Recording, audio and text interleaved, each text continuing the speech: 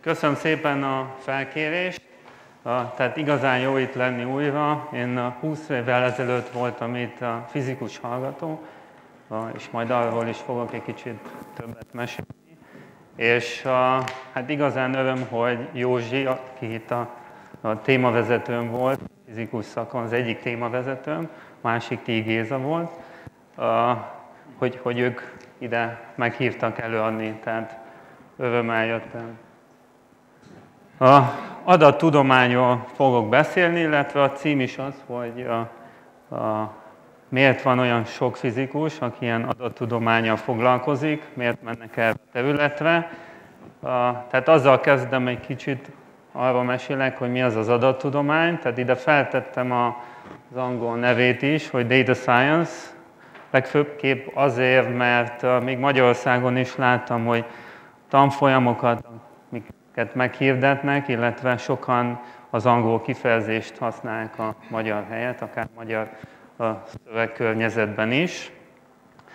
Ez az adattudomány, vagy data science kifejezés kb. 2010-ben terjedt el, azóta használjuk, de amit, amit jelent, az előtte is létezett, csak más néven. Konkrétan adatbányászatnak hívták előtte, és már a 90-es évek óta vannak, akik csinálják.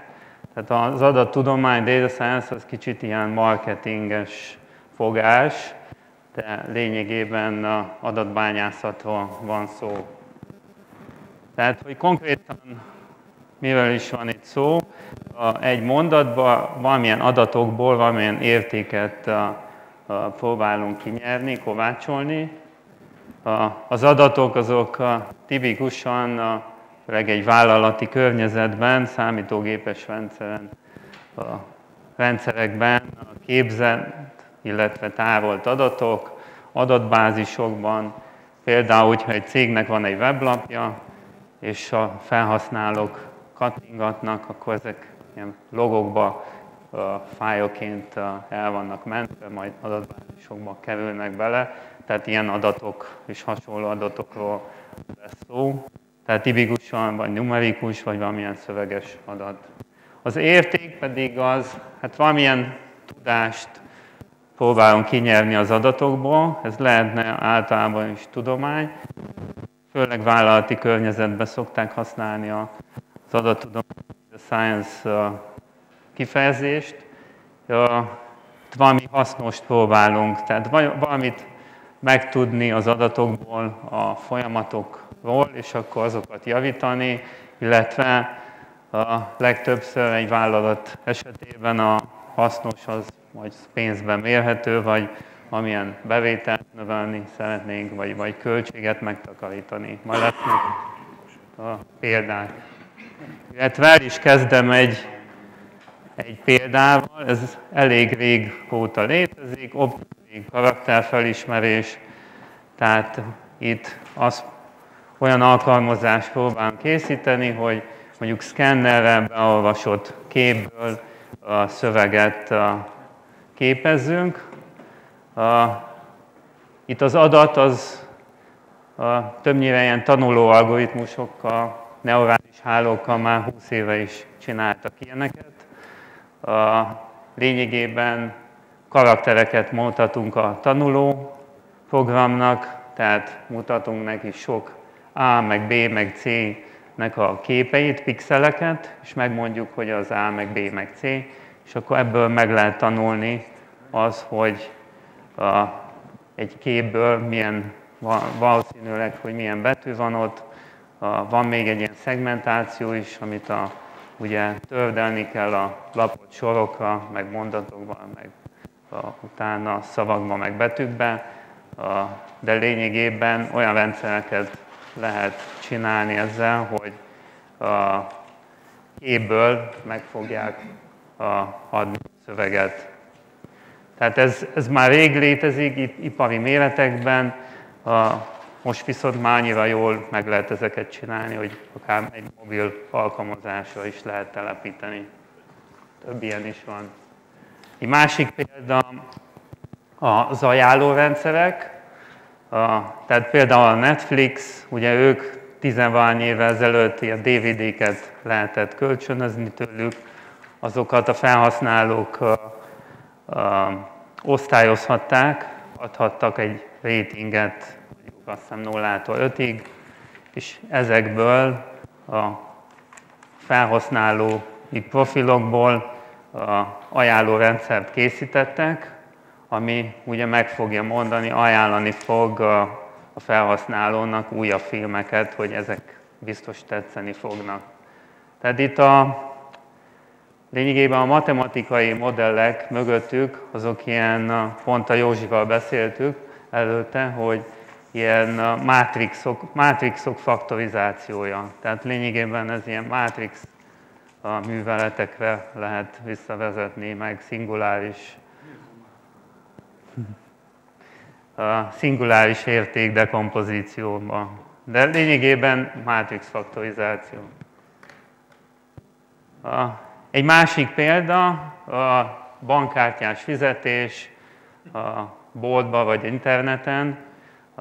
Ezzel foglalkozok én is, annál cégnél, ahol dolgozok az USA-ban. Tehát próbáljuk a csalásokat felderíteni. Ugye nem, ő a másik oldalon van, őket próbáljuk elkapni. Ugye vannak ilyen új emberek, akik azzal foglalkoznak, hogy lopott kártya adatokkal próbálnak vásárolni, és itt az adat az lényegében egy, egy idő után, ugye, hogyha vásárolnak lopott kártyával, akkor jogos tulajdonos ezt észreveszi és reklamál a banknál. Tehát kicsit késve, de tudjuk a tranzakciókról, hogy hogy ezek jó tranzakciók vagy rosszak, és akkor tanuló algoritmusokkal a, lehet olyan modelleket építeni, ami utána egy új tranzakción, a, ahogy történik, valós időben meg tudja mondani, vagy megsatszolja, hogy mekkora valószínűsége, hogy ez csalás lesz, és akkor azokat le lehet tiltani. Tehát emiatt szoktak bankok leállítani mondjuk internetes vásárlásokat.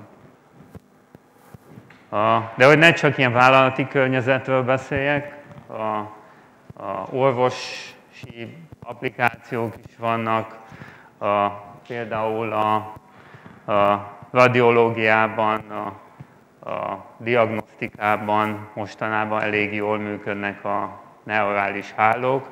Azt hiszem, hogy a következő előadásban lesz itt a sorozatban neurális hálókról, meg pontosan ilyen orvosi alkalmazásokról szó. Vagy egy másik példa, ahol az adatbányászat, gépi tanulás az hasznos, gyártási folyamatok optimalizációjában, például a, a hibakeresés, tehát gyártási alkatrészekben hibákat lehet találni, anomália detektálás. Ugye a modern gyárakban már rengeteg digitális adat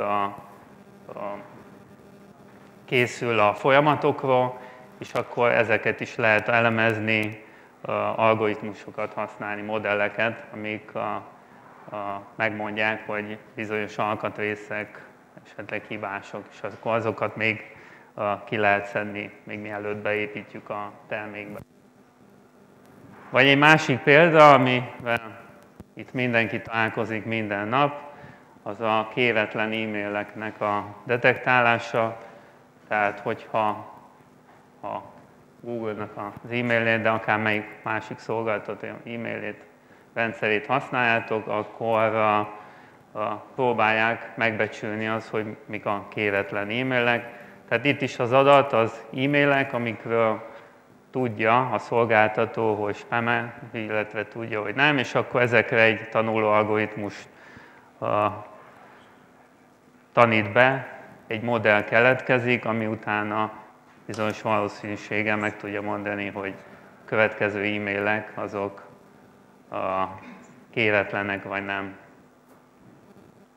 Uh, és akkor uh, sajnos a médiában ezek a, tehát ugye itt bemutattam pár példát, rengeteg ilyen példa van, ahol vállalati környezetben vagy azon túl is hasznos dolgokat lehet adatból csinálni, a statisztikai modelleket lehet képezni, és ezeket használni.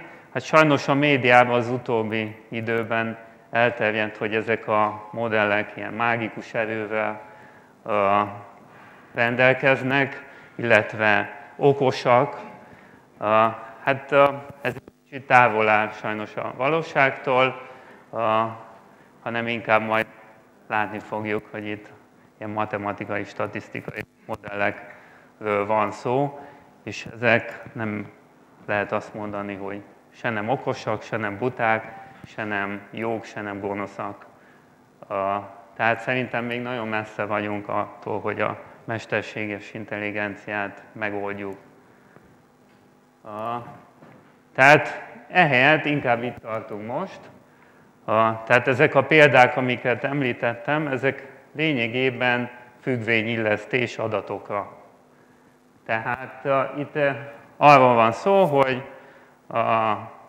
vannak input változók x1, xn, és ebből próbálunk egy y output változót megsatszolni. Például az e-mail, a kéretlen e-maileknél ugye az y az bináris, tehát vagy kéretlen vagy nem, illetve annak a valószínűsége lesz ez a függvény, hogy most kéretlen vagy nem, és az x1, xn azok az e-mailben levő szöveg, a képek, amik csatolva vannak, esetleg linkek benne, meg egyéb ilyesmi adatok, és lényegében az adatokból próbálunk egy ilyen F függvényt illeszteni, megbecsülni, hát ha nagyon akarjuk mondani, akkor tanulni.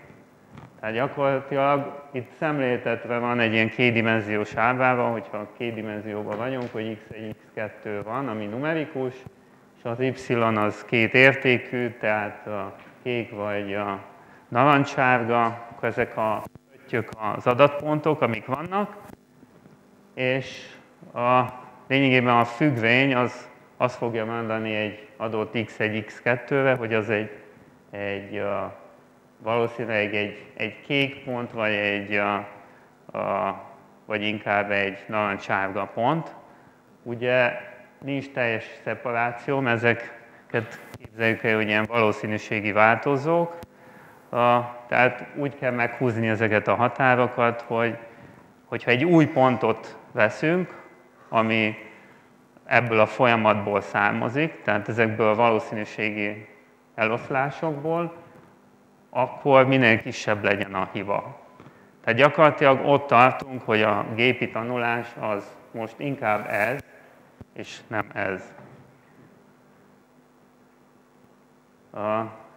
És akkor különböző módszerek vannak erre, például akár egy lineáris modellt is, egy lineáris regressziót is alkalmazhatunk. Az itt a, első ábrán van, a bal oldalt. Hát az nem lesz egy jó illesztés. De sok esetben a gyakorlatban a lineáris modellek elég jól működnek, a kevés paraméterük van, és ezért nem fogunk túlilleszteni, és van, ahol ezek a legjobb modellek.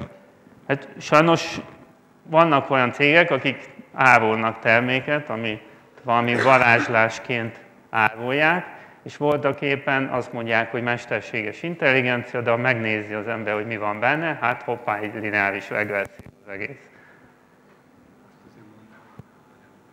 Tehát a, azt mondja Józsi, hogy mondja meg egy kicsit a lineáris regressziót. Tehát a, Ugye itt egy olyat illesztünk, hogy x1 meg x2 lineáris kombinációja, az lesz egy sík, és akkor ott, ahol elmetszi a 0,5-öt, ott lesz ez az egyenes, talán még ilyen, igen, tehát ott lesz ez az egyenes, tehát ezt úgy kell képzelni, hogy a, a x1, x2 lineáris kombináció, tehát mondjuk a-szor x1 plusz b-szer x2 plusz c, az lesz egy ilyen sík, és ahol elmetszi mondjuk a 0,5-öt, vagy egy másik értéket, akkor az a, ez az ábra. És akkor ez a klasszifikáció azt fogja mondani, ha itt jön egy új pont, akkor arra azt mondom, hogy a narancssárga, ha meg itt, akkor kék. Tehát gyakorlatilag a neurális háló is valami hasonló, az is egy ilyen függvényt tanulunk meg, vagy itt van ez, ami így kicsit ilyen lecés, és nem a legjobb, de ebben az esetben jobb, mint a lineáris regresszió. Ez egyszerűen a minden pontnál, a, egy új pontnál a régi pontok közül kiválassza a, a K legközelebbi pontot, tehát legközelebbi szomszédot, itt a K15, és akkor azt szerint fog osztályozni, hogy, hogy kék vagy narancsárga.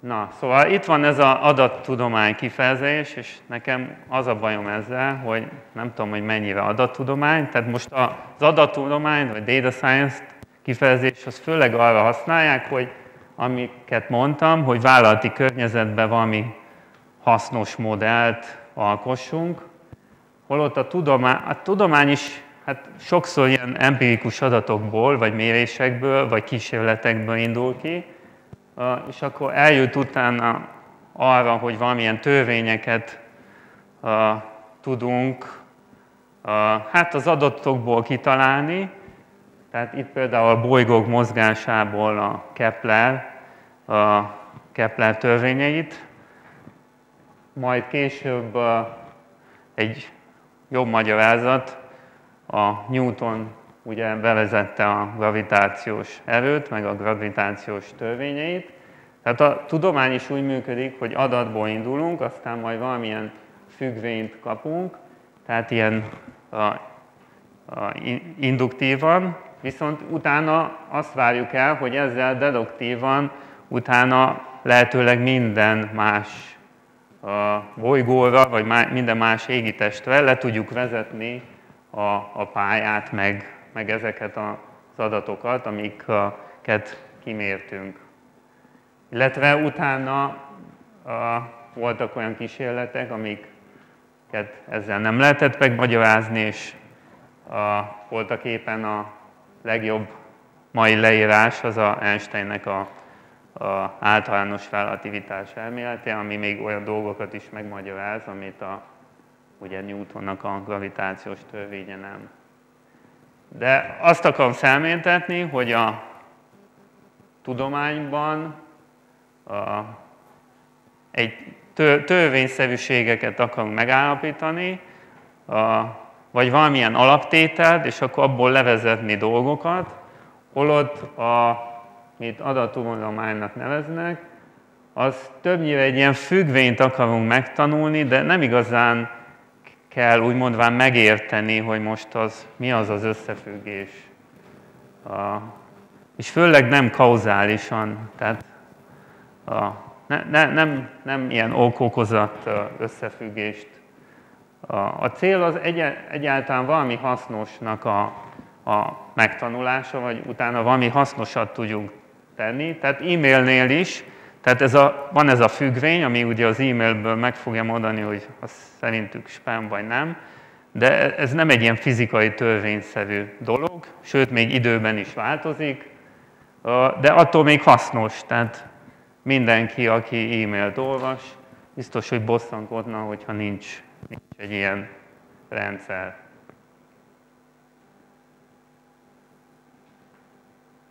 A tehát igazából inkább leírnám, hogy mi az, ami, ami egy ilyen adatbányászati vagy data science projektben szokott történni.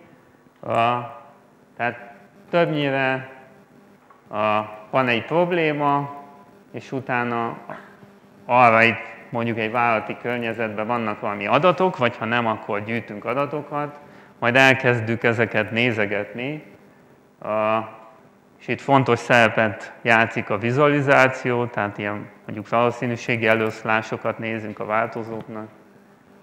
Majd rengetegszer mindenféle szemét van ezekbe az adatokba is tisztítani kell, illetve különböző transformációkat végezni rajta, és akkor végre elérünk oda, hogy modellezzünk, tehát amit a média felkap, hogy ez a gépi tanulás, és hogy ez a legérdekesebb része, ezeket a modelleket validáljuk, majd utána elkezdjük használni.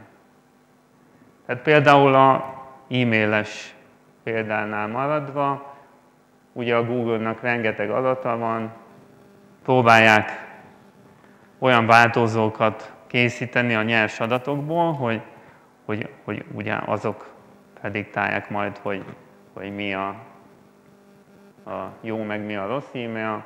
Ezzel rengeteg sok munka van, majd utána jön a modellzés, és utána, ha már validáltuk, akkor ezeket a modelleket lehet használni arra, hogy tényleg osztályozza az e-maileket. Tehát egy kicsit szemléltetni fogom ezt. Két évvel ezelőtt tanítottam, és akkor a diáknaimnak be kellett adni ilyen adatbányászati projekteket, és akkor az egyikből hoztam el a dolgokat. A, tehát a részletek itt megtalálhatók ezen a, a weblapon. A, a feladat, az majd el fogom mondani, hogy mi. Az adat meg egy publikus adat, ami innen letölthető. A, szóval a feladat az, hogy emberekre raktak ilyen szenzorokat, a, és mérték, hogy különböző tevékenység, mondjuk ülés, állás, sétálás közben a, ezek a szenzoroknak a koordinátáit, majd a feladat az az, hogy ezekből a koordinátákból kitalálni egy új emberen, vagy egy új adatponton, hogy, hogy ő most mit csinál, hogy a, ül, áll, sétál, leül vagy feláll. Tehát ez, ez, egy, ez egy kis példa, tehát ez, ez még nem egy a, komoly vállalati applikáció, a, viszont publikus az adat rá, itt megtalálható. A, amit szok, és akkor most itt el is mondhatom azt, hogy milyen a, szoftvereket használnak, ilyen adatványászati célra. A, manapság vagy az L, vagy a Python az, amit legtöbben használnak. Ezek mind a kettő a, ilyen egy részben programozási környezet, részben ilyen statisztikai, meg vizualizációs környezet. A, ezekben lehet nagyon egyszerűen kis pársoros kóddal adatokat beolvasni, lehet adatokat manipulálni, a, a vizualizálni, ábrákat lehet készíteni, statisztikai modelleket lehet készíteni. A, az R is, meg a Python is, meg az összes modul hozzá, azok nyílt forráskódak és ingyenesen letölthetők Windows, Macintosh, Linuxra, tehát gyakorlatilag bárki itt a, letöltheti pár perce belül, és elkezdhet ilyen dolgokkal foglalkozni, anélkül, hogy, hogy valamit is, valakinek is fizessen. A, tehát itt van egy pár soros példa, tehát példa az első sorban, a, ezzel tudunk beolvasni egy CSV fájlt, amiben ezek az adatok vannak, majd itt valami adattisztítás történik. Tehát ez csak szemléltetnem, hogy, hogy gyakorlatilag ilyet kell írni. A, tehát mondtam, hogy a vizualizáció az a fontos ezekben a projektekben, azokkal lehet így az adatokat így megismerni. Tehát például itt a, az eloszlását mutatja egyes szenzor, a, ami itt van, meg ha XY meg Z koordinátáinak az eloszlását mutatja a meglévő adatokban, ezekben a tevékenységben, tevékenységekben, tehát ül, leül, áll, feláll, illetve sétál. Egy talán érdekesebb a második szenzor. Tehát ugye itt lehet látni, hogy a, tehát itt van a második szenzor, akkor ezen lehet látni a mozgást. Tehát például az ülés, az állás, meg a nál szűk ez az eloszlás, itt meg, meg nagyobb az adatokban a szórás. Vagy például ilyen ábrákat lehet készíteni.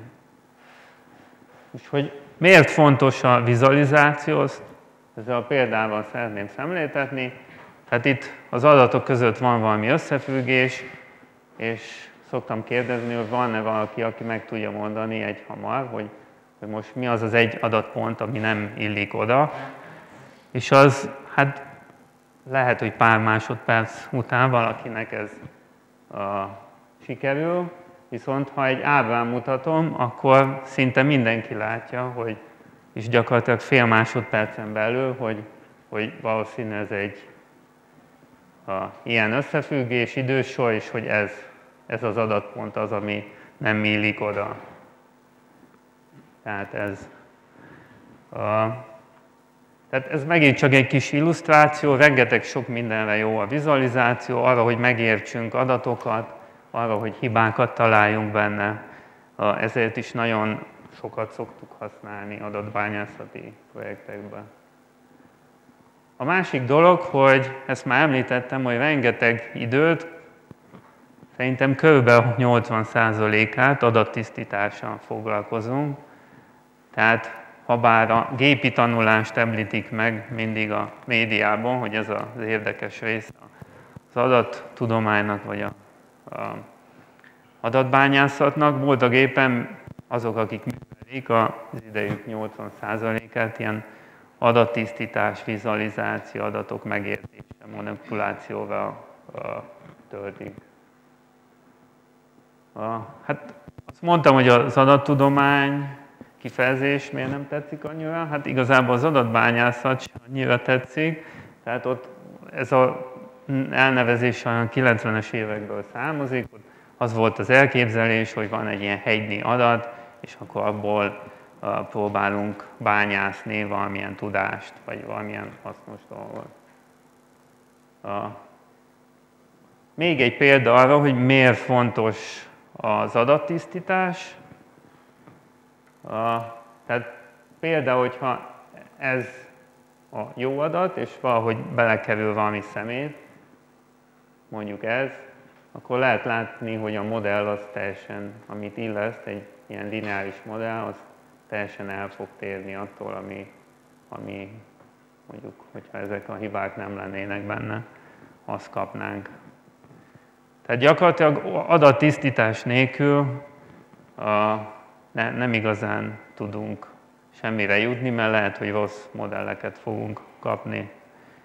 A, és az adattisztítás, meg az adatok megértése, az meg mindig egy elég manuális dolog. Tehát az algoritmusok, azokat le lehet futtatni, lehet használni könyvtárakat, amik ezeket a dolgokat már tudják, tehát nem kell sokat programozni, viszont az adatokat meg kell érteni, meg kell tisztítani, és ez még mindig eléggé egy ilyen kézi manuális folyamat, azért is tart olyan sok ideig.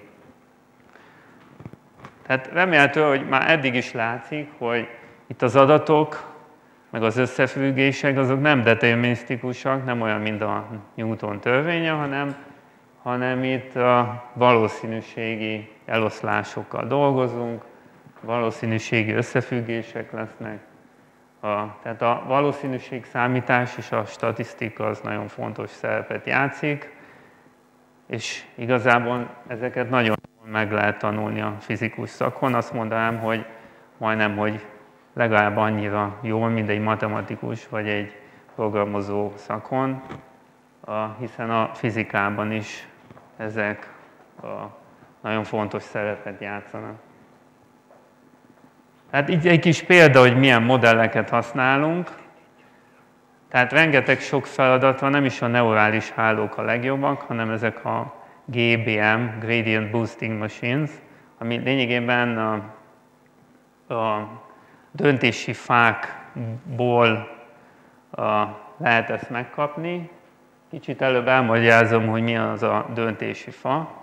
Tehát a döntési fa az egy ilyen struktúrát tanulunk az adatokból, ami majd azt mondja meg, hogy ha x1 meg x2 az input, akkor itt, itt mindig ilyen változók fognak szerepelni, meg értékek, és akkor, hogyha van egy új adatpontunk, akkor, hogyha az x1 az kisebb, mint t1, akkor erre indulunk el, ha meg nem, akkor erre, és egy idő után eljutunk egy ilyen levélbe, és akkor az lesz a y, az output, a predikció.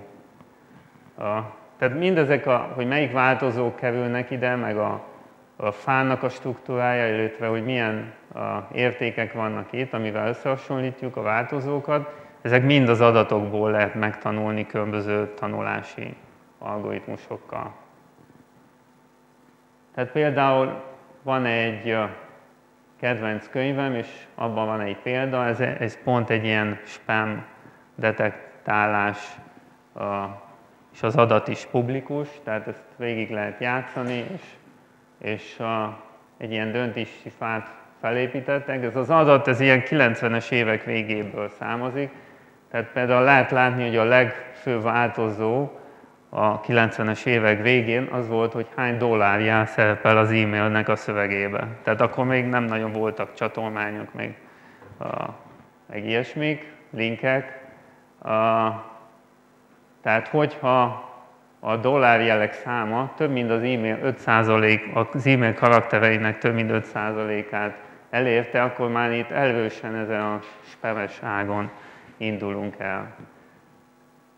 Tehát ez az adat publikus, egyébként ez a könyv is a, kívhattam volna teljes címét, tehát ez a Elements of Statistical Learning, ez egy ingyen letölthető a PDF-ben, az egyik legjobb könyv, amit a Stanfordon levő statisztikusok írták.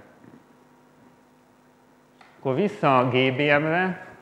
A GBM pedig ilyen fákat tanulunk, sokat, tehát itt lehet paraméterezni, hogy 300-at, és a predikció ezeknek a, mindegyik fa fog prediktálni valamit, és akkor a GBM veszi ezeknek az átlagát, és úgy tanuljuk ezeket a fákat, hogy mondjuk az n fa esetén megnézzük, hogy a 1-től az n-1 fának az átlaga, a predikció, az melyik pontokra jó, illetve melyik pontokra rossz, és akkor az n fát úgy próbáljuk megtanulni, hogy pont azokat a pontokat prediktálja jól, amit az előző fák nem tudtak. Tehát így iteratíve építjük fel a fákat, és akkor a végén veszük majd egy ilyen súlyozott átlagát. Tehát az algoritmus az ide le van írva, de az, az, azzal nem fogunk most túl sokat foglalkozni. És akkor még ilyen paraméterek vannak, hogy a fának a mélysége, a, illetve egyéb paraméterek. Tehát a lényeg, amit szeretném, hogy itt lássatok, hogy, hogy ezekre vannak kész szoftverek, ezek mind nyílt forráskodóak, amit az ember letölt ingyen és használja. És kb. egy, egy ennyi pár sor kóddal lehet egy ilyen modellt alkotni, és utána használni. A, illetve, hogyha ez már megvan, akkor lehet új adatra kipróbálni, hogy mennyire jó ez a modell. A, itt arra kell mindig vigyázni, hogy azokat az adatpontokat, amin tanítok, azokat nem lehet használni tesztre. A, és hogyha van valakinek valamilyen adata, akkor azt úgy szokták megoldani, például az egyik legegyszerűbb, hogy ketté osztom, és akkor az egyik részén tanítok, a másikon tesztelem, és itt a példában is ez volt.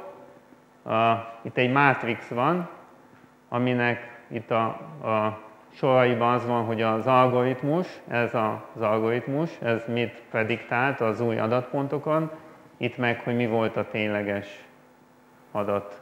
És lehet látni, hogy a diagonálisban vannak nagy, nagyobb számok, ami azt jelenti, hogy, hogy jól tudta a, meghatározni azt, hogy milyen tevékenység, tehát az X változókból jól tudta az Y-t megadni, és amik itt a, nem a diagonálisban vannak, azok a, a hibák. Tehát például négy adatponton gondolta azt, hogy, hogy ül az illető, holott a, holott a leülésről volt szó. Viszont most a médiában nagyon ezek a neurális hálók jelentek meg, tehát majd arról is fogok beszélni kicsit, hogy miért. a hallgató ezt is használta, viszont a, ilyen, tehát a neurális hálók nem feltétlenül minden adaton azok lesznek a legjobbak, sőt, ebben az esetben is, mindegy csomó vállalati eseten, a vállalati projektben is a GBM-ek azok jobbak voltak a neurális hálóknál. Tehát neurális hálókról lesz szó a következő előadáson, tehát arról nem sokat beszélnék. Itt inputokból outputokat számolunk, és vannak itt egy köztes réteg, de majd a mély hálókban sok ilyen réteg lesz, és mindegyik ilyen réteg az az előzőeknek a lineáris kombinációját számolja, illetve egy ilyen nem lineáris függvényt alkalmaz rá. És például egy neurális hálót, ha betanítunk, az ezeken az előző példán valami ilyesmit fog megtanulni. Tehát itt lehet látni, hogy ez nem igazán jó. Tehát neurális hálóknál rengeteg ilyen trükköt kell alkalmazni ahhoz, hogy, hogy jó eredményeket kapjunk. Például van egy olyan trükk, hogy regularizáció, és ha azt alkalmazzák erre a példára, akkor egy sokkal jobb egy ilyen eredményt lehet kapni. Lát, látszik, hogy ez már sokkal jobb illeszkedés. Tehát neurális hálók nagyon jók a képfelismerésre. Ez az út, hát főleg az utóbbi öt évben, 5-10 évben jutottunk el oda, hogy van sok adatunk, van elég számításkapacitásunk, hogy ezeket a neurális hálókat jó be lehetett tanítani mindenféle képfelismerő, meg képekkel kapcsolatos a, dolgokra. Illetve azért is híresek, hogy ilyen rengeteg ilyen virtuális a, környezetben, ahol rengeteg adatot tudunk képezni, például játékokban, ott is nagyon jó eredményeket lehetett kapni, és akkor sokan már várják, hogy ebből hamarosan önvezető autó lesz. Ugye itt a, főleg a képfelismerés ből kell, a képfelismerésre kell alapozni, és hogyha kicsit tovább szállnak a gondolataink, akkor már ilyen mesterséges intelligenciánk is lesz. Holott a vállalati adatok, főleg ezek a GBM-eket lehet jól használni, tehát jobb eredményeket lehet kapni, mint például a neurális háló. Van ez a Kaggle weblap, ahol ilyen adatbányász versenyeken lehet részt venni, tehát valaki feltesz oda valamilyen adatot, és meghirdetnek versenyt, és akkor be lehet adni a megoldásként predikciókat, majd egy külön adathalmazon ezeket megnézik. És ezekben is a, olyan típusú adatokon, amin vállalati környezetben szerepelnek, ott inkább a GBM-ek és nem a neurális hálók nyernek. Hogyha ilyen képfeldolgozás van, vagy hangfeldolgozás, ilyen dolgokban meg a neurális hálók. Hát körülbelül ennyi bevezető az adatumanomályba, most meg arra szeretnék egy kicsit beszélni, hogy a, miért van ilyen sok fizikus ezen a területen. Tehát több ilyen tanulmány is készült arról, hogy a data science művelői azok milyen területekről jönnek. A, tehát ugye évek ezelőtt még nem volt ilyen képzés, hogy adattudomány, hanem emberek valamit megtanultak, fizikus, matematikus, szoftverfejlesztő, és akkor utána átálltak adattudományjal foglalkozni. És lehet látni, hogy a, a doktori fokozattal rendelkezőek ben a legtöbben a fizikus a irányból jönnek, illetve a mesterfokozatok között is elég sok a fizikus, és ha arányaiba nézzük, tehát ugye sokkal több a szoftverfejlesztőt képezünk egy évben, mint fizikus, tehát ott is, ha arányaiban nézzük, a, fizika az az első között van. És kérdés, hogy, hogy miért? Uh, ahhoz előtt egy kicsit szemléltetem, hogy én hogy kerültem oda. Ugye 92-ben kezdtem a, itt a fizikus szakot, a,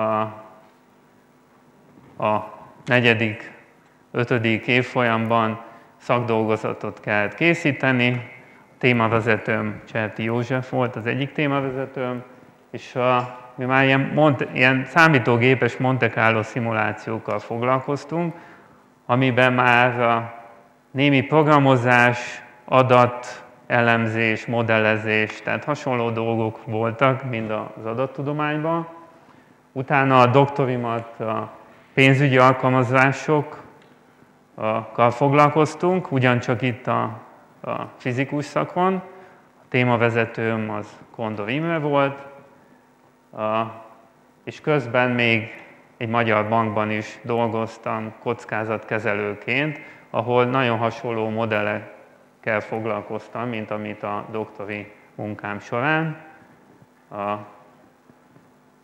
Ezután viszont 2006-ban kiköltöztem Kaliforniába, és ott kezdtem azzal foglalkozni, amit most data science vagy adattudománynak neveznek, akkor még adatbányászat volt a név egészen olyan 2010-ig.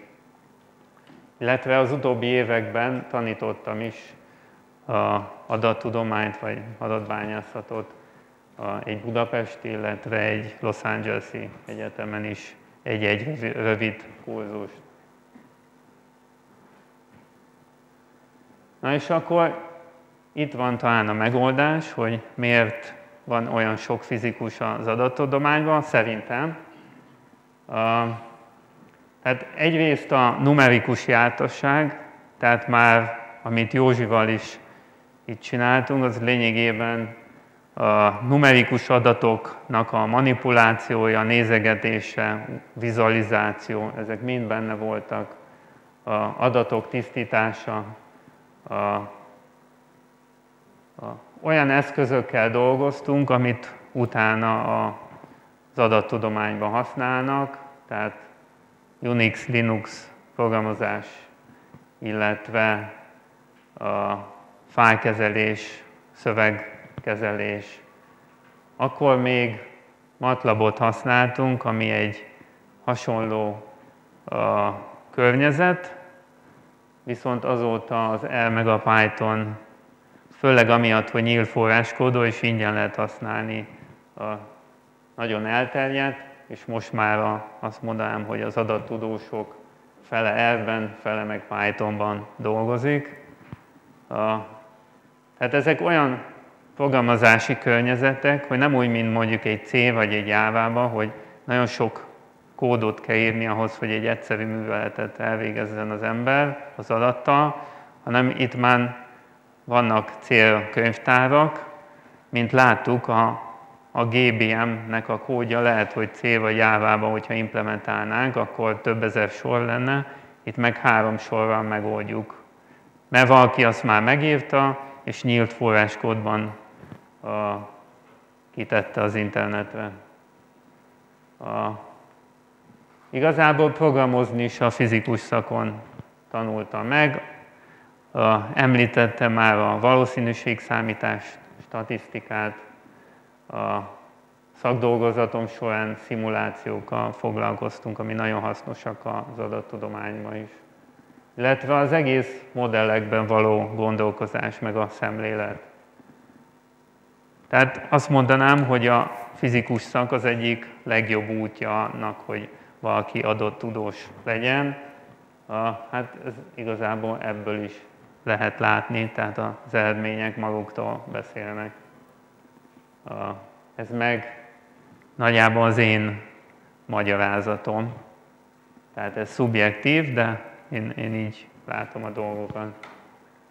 A, amit szoktak mondani, hogy mit takar ez a adattudomány, vagy mit, mit, mit, ér, mit kell tudni hozzá, hát kell matematika, meg statisztika, kell ugye programozás, meg számítógépes jártasság, illetve hogy egy adott vállalati környezetben kell ismerni a domént. Tehát például, hogyha hitelkártya tranzakciókkal foglalkozunk, és a csalást akarjuk felderíteni, akkor nem elég ez a kettő, hanem meg kell tanulni konkrétan, hogy hogy működik az a világ. A, illetve még szoktak említeni, a, és szerintem ez nagyon fontos, soft készségeket. A kíváncsiság, hát minden kutat, tehát kutató úgy lesz az ember, hogyha kíváncsi, és azért csinálja, mert érdekli. A kreativitás az azt hiszem magától értetődik. Kell egy adag szkepticizmus, tehát rengeteg sok hibát lehet követni, és gyakorlatilag mindig meg kell kérdőjelezni, hogy az a, az eredményt, amit valaki kapott, főleg statisztikából, hogy, hogy az tényleg úgy van-e.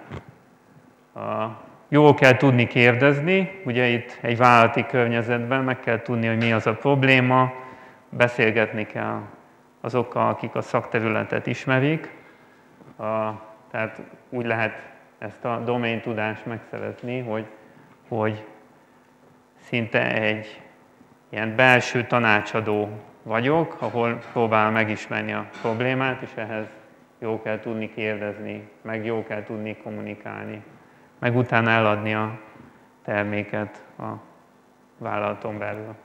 Hogy ez hasznos az a projekt, amit elkészítettünk.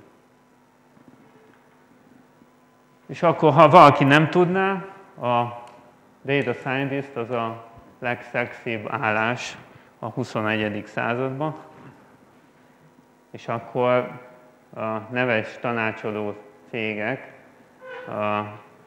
arról beszélnek, hogy itt micsoda a hatalmas igény van data scientistekre, holott igazából ilyent nem tanítanak az egyetemen.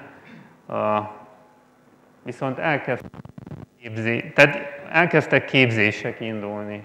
Ezek a képzéseknek egy része az, az online, tehát a legnagyobb vagy legismertebb ez a Coursera.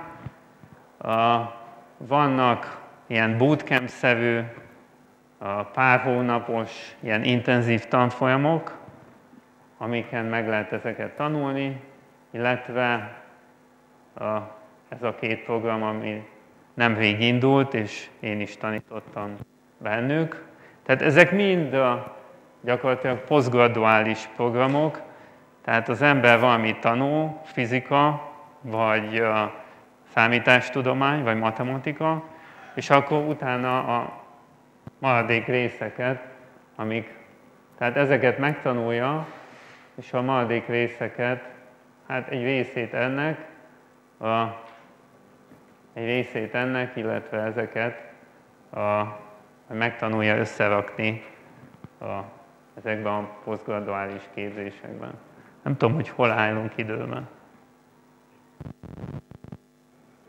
Öt perc? Akkor tíz. Ha.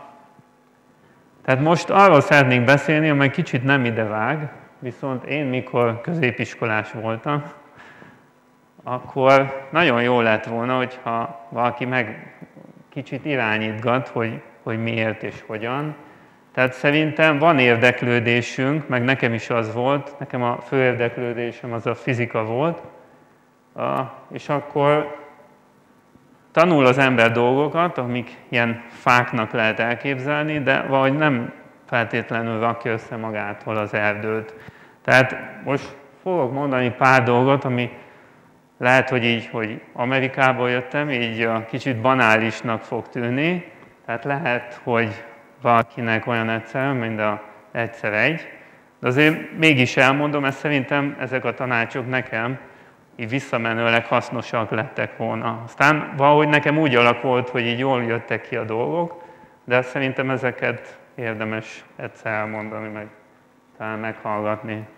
Tehát lehet, hogy sokan itt olyanok, hogy mint én voltam annak idején, hogy szerették a fizikát, és akkor ez már nagyjából elég is arra, hogy ide jöjjetek az egyetemre.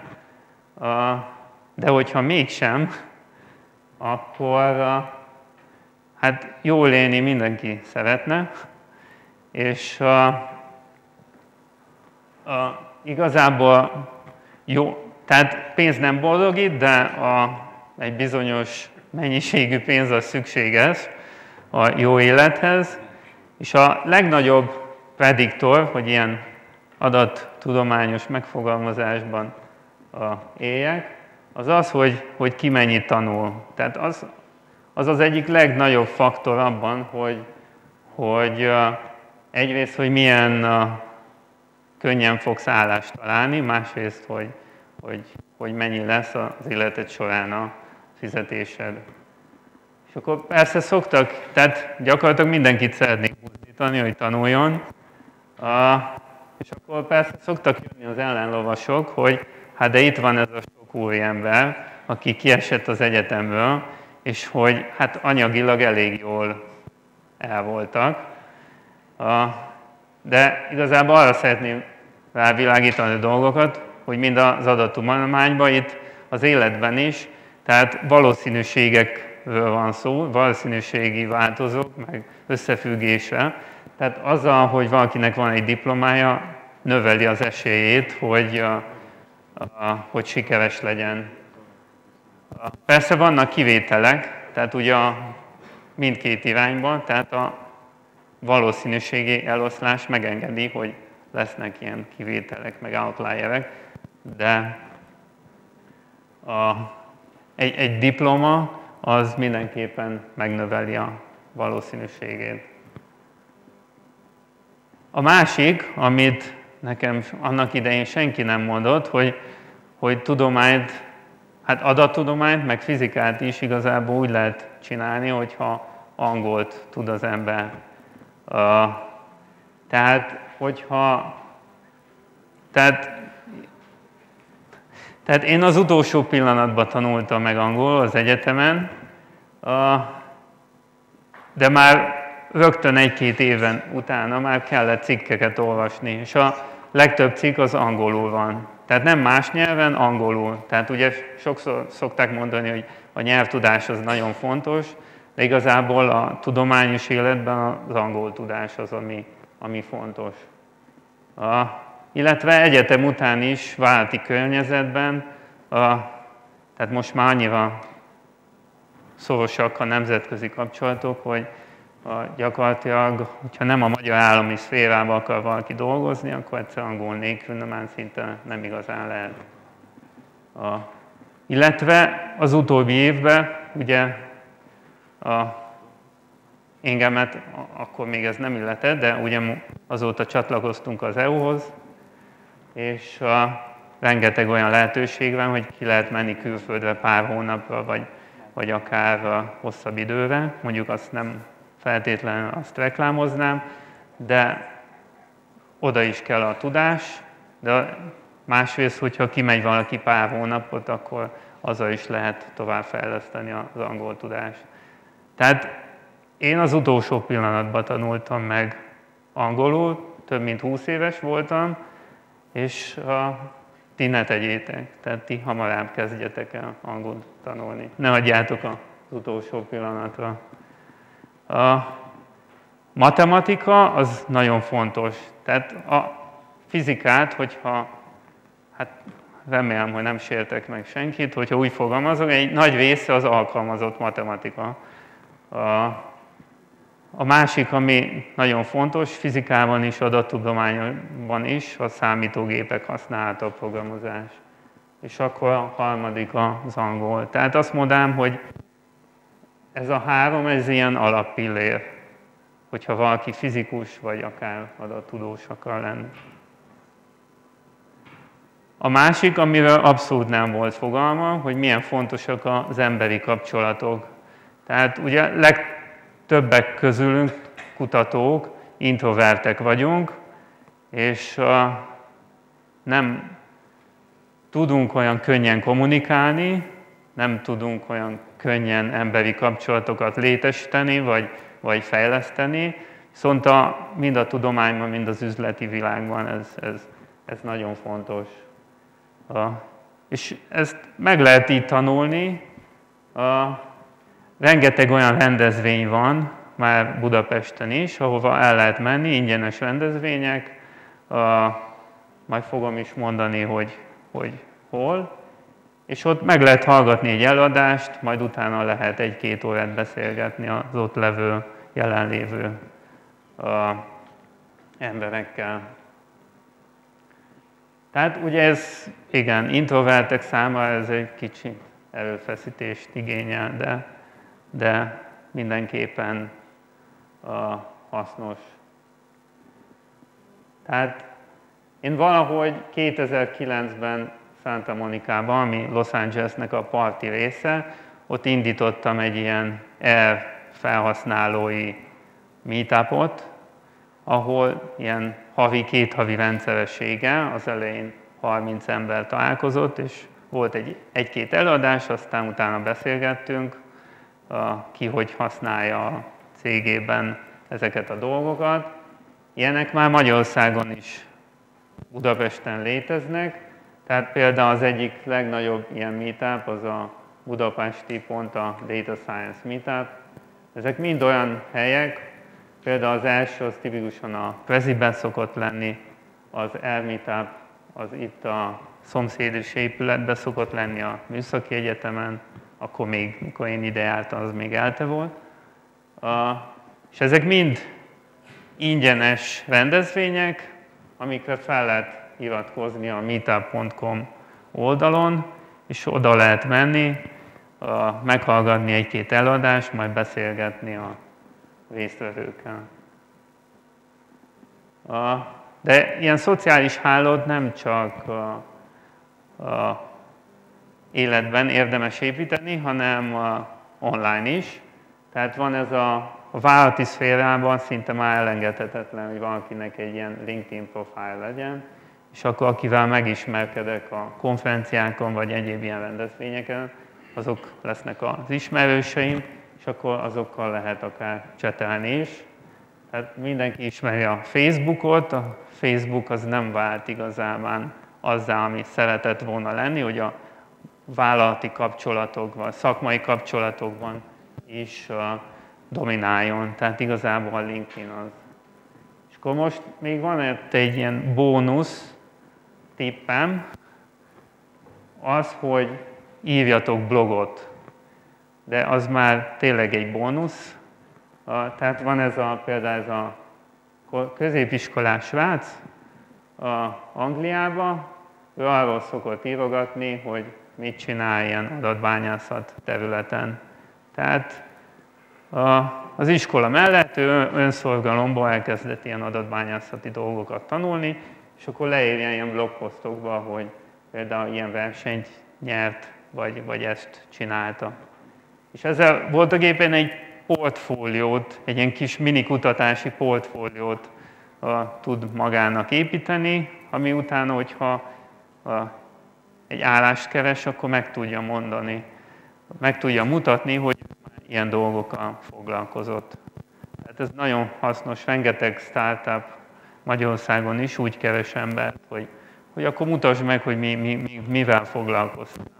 És akkor teljesen publikus adatokat lehet használni ilyen kis projektekre, kis vizualizáció, kis tanulóalgoritmus, kód, minden ott van. Szerintem nagyjából ennyit szerettem volna elmondani.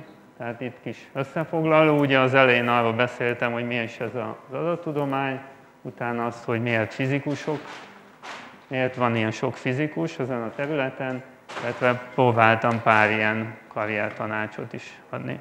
Köszönöm szépen!